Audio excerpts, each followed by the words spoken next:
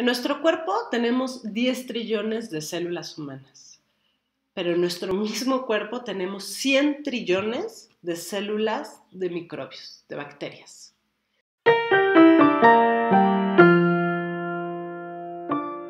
Si vamos a beber algo, qué mejor que sea una bebida probiótica.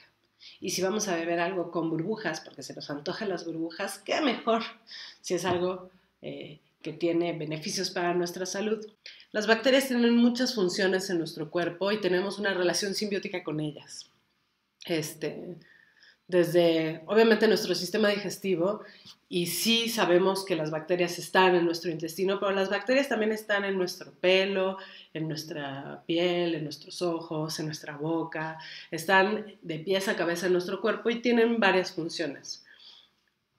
Ayudar a nuestro sistema digestivo, pero también son nuestra primera línea de defensa, apoyan a nuestro sistema inmune, ellas sacan muchos de los nutrientes de los alimentos que nosotros sin ellas no podríamos sacarlos y además nos ayudan ellas mismas sintetizando ciertas vitaminas que, nosotros después aprovechamos.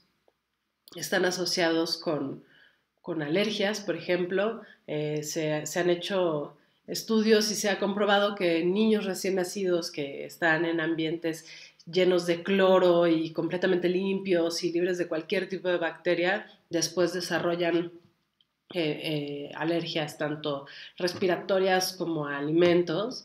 Y los mismos niños, o sea, bueno, un niño que creció en un lugar con animales, por ejemplo, perros o gatos, que jugó en la tierra, que, que tuvo mucho más contacto a estas bacterias, pues no suelen desarrollar las mismas alergias y si llegan a desarrollar una alergia no es tan eh, violenta como el niño que se, le, que se le quitó las bacterias de su medio ambiente, ¿no?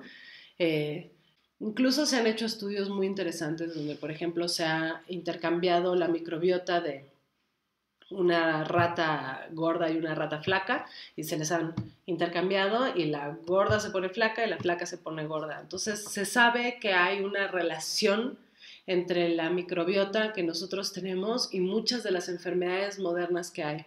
Entre ellas está el Alzheimer, la obesidad, como, les había dicho, y incluso se asocian con, problemas como la depresión y, varias cosas, este, inflamación, problemas de inflamación. Entonces, eh, la ciencia está terminando de cerrar estas este, conexiones con, la microbiota y nuestra salud.